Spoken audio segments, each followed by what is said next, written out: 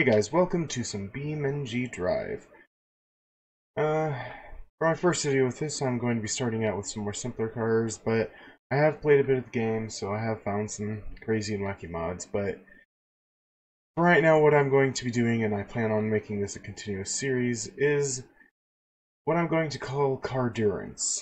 Uh, basically going to be torture testing cars on a few tracks that I've found, and seeing how they match up to each other. So, without further ado, I'm going to start off simple with this Bishu Covet 1.5 DXI, and away we go. So, I know some people have done this on YouTube before, although, like, once I found out it was a thing, I decided, oh, maybe I should make videos on it sometime. But I was already doing this kind of thing and had found this track before I found those videos. So yes, it's not super original idea, but it's not like I'm doing it only because I've seen it somewhere else. Um, but yeah, essentially, cars have to have the steering capabilities to make turns. Um, and, ooh, that's that's bad bumper placement right there now. Um, they've got to be able to have the steering still for turns, it's got to be able to run, and as you see, radiator's already blown, so it's not looking too good for the Covet right now. But uh, I will help it out. Oh gosh, I oversteered that. I will help it out if it flips over. I will shut off the engine so it doesn't start with oil, and flip it onto its wheels before making it continue. And there is a mud section up here that cars will sometimes get stuck in. I will help pull them through. If it's not they got, like, unless it's like they got stuck due to having no power left really, but... And also if a car is damaged enough that they cannot reach over...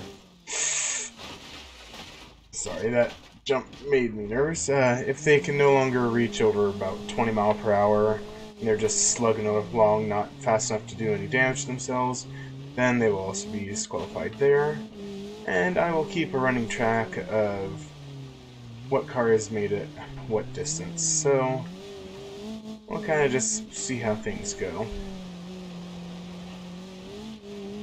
But yeah, we're already overheating the coolant here soon. It's temperatures in the red. And it's just not looking up there, overheating. Overheating, gosh. Yeah, so it's just not looking the best for this car. A little bit crunched up on the front. And we're approaching the big ramp of this place. Not the biggest jumps, but with that weird landing surface is quite a doozy sometimes. But we landed on our wheels, so we will just continue off right away. If the car will get itself going, come on. I know you got a bit more in you. You can make it at least a lap.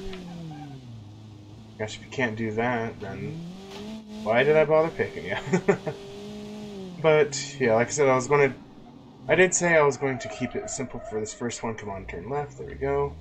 Um, but I'm probably going to do three cars per episode, and I'm I've got another track as well. I'm going to be running all the same cars on both tracks.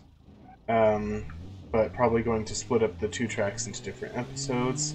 So that their own their own kind of thing. It all depends on how long it runs. But um, I'm going to do two of the more normal cars. And then I will do one kind of car that's like higher end car that I don't expect to go well, but it's just kind of for for giggles thing. And we'll just kind of have to see where it ends up. Ooh, jumped over that bump that time. That's the one that killed our radiator originally, and our head gasket is damaged, so I don't think we'll even make it to the mud. Yep, it's it's dying. So we'll let it kind of coast to its end.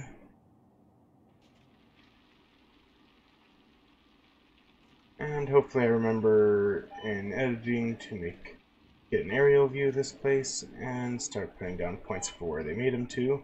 Oops, did not realize I was driving to the speed bumps. But nonetheless, it made it to the warehouses. So, here we go, that's first one.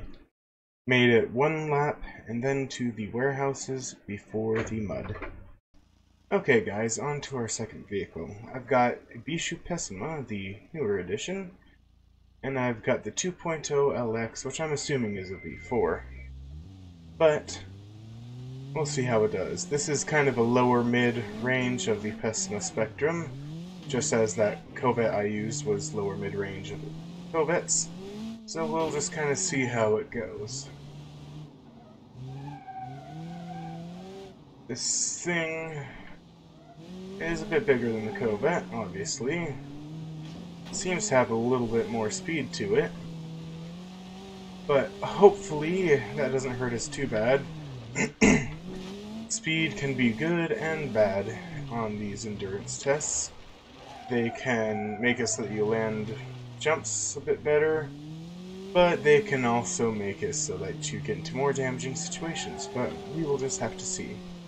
And those speed bumps back in the industrial area I just passed, or what I called the, uh, I think I called it the warehouse area earlier, uh, which there's multiple warehouse areas, so I should really change that name, but um, those speed bumps are not required for me to go over, but I will sometimes go over them. It's just with this car, I had two earlier takes where it just instantly ripped off one of the front tires for some reason on one of them, so I decided just to avoid it to be safe.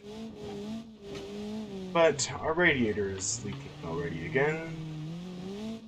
But right now we're at the point that the Covet's radiator was starting to get, or the temperature was starting to get too hot, so hopefully we have a bit better luck. Although, with this thing, it's pulling a bit more to the side, it's pulling to the left. I'm not turning there uh, until I had to, but yeah.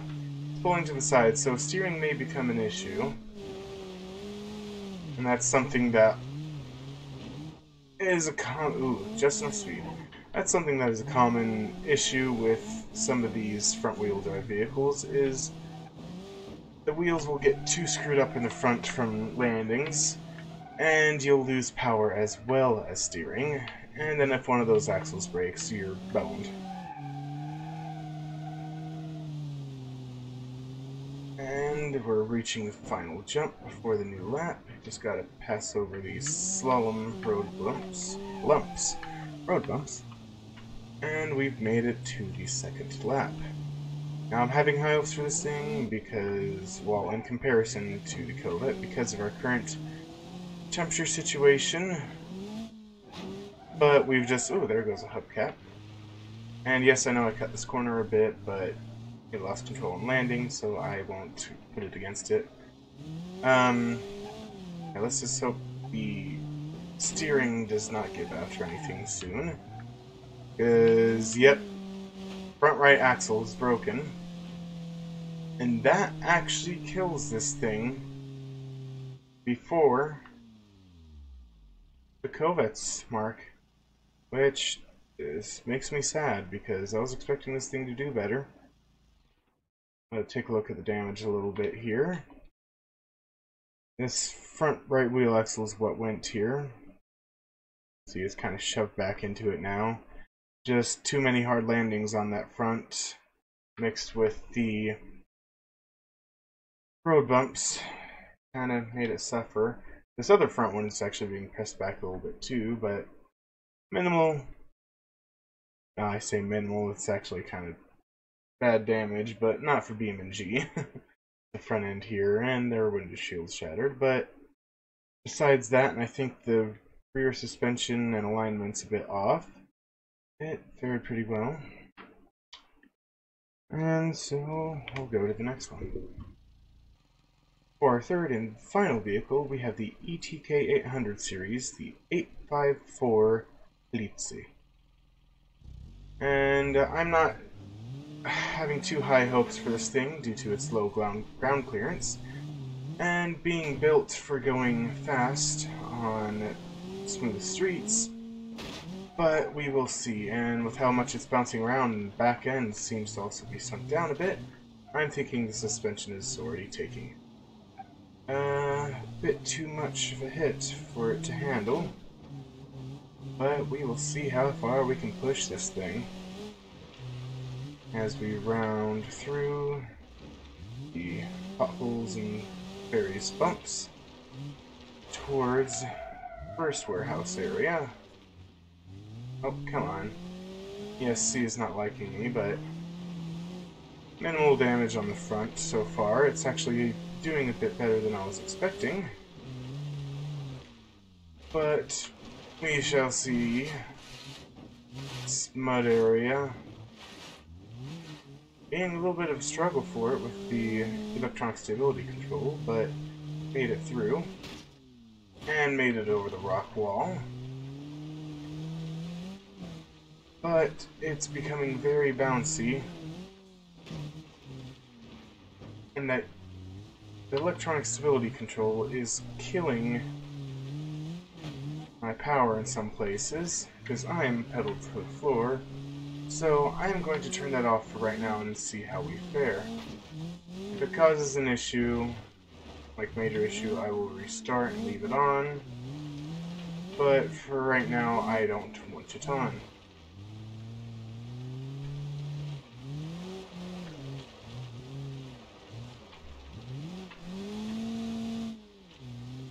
Plus, I like drifting, so. but it's starting to pull a bit to the left as we do our fur er, major jump, and starting to lose control a bit there. But this thing is faring a lot better than either of our other cars. And so maybe I was wrong with this one being wacky and stupid idea.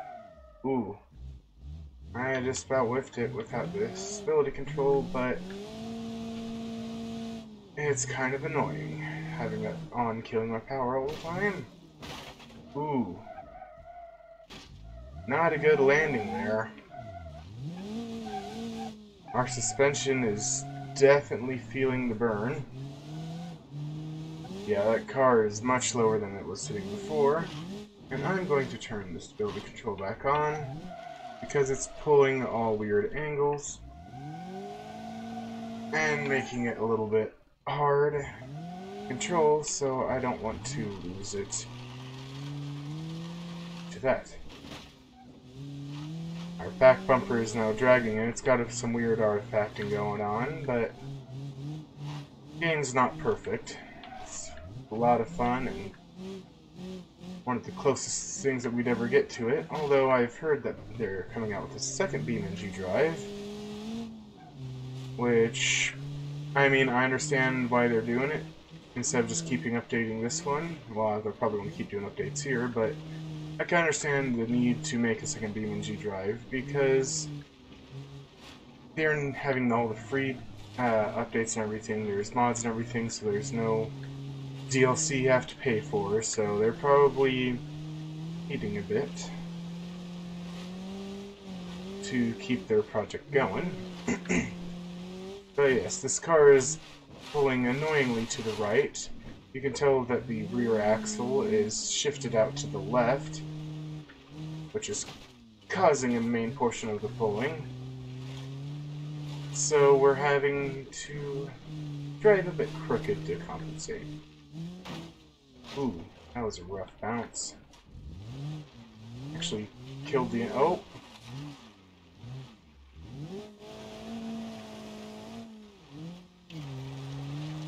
Oh, we... It is an issue due to the steering, so we can't back up to save ourselves, but got some right pressure in places and was able to pull out of that. Our right front wheel is dead in the water, and we cannot steer left right now. I'm going to call this uh, disqualified right now. But it made it a good bit further than the others. Made it through the industrial area and past the mud, through the rock jumps and everything, and through that area that I can't think of the name quite yet for it. Probably call it the barn jump, or something like along those lines. And died here. So, our current standings are the police edition, sitting in first, which surprised me, having made it roughly, uh, I'd say one and two thirds lap, uh, making it through the barn jump on the second lap. The Covet in second, making it to the first industrial area on its second lap. And then the Pessima, making it to its, or just before the industrial area after the road bump area on its second lap. So everything has made it to lap 2, but not very much further.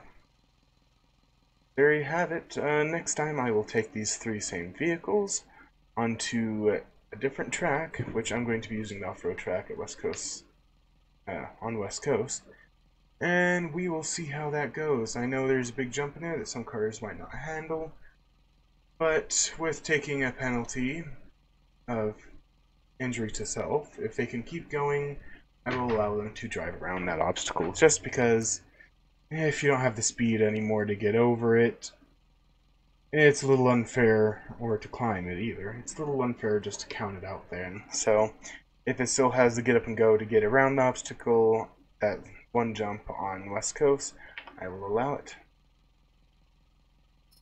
Thank you guys, and see you in the next one.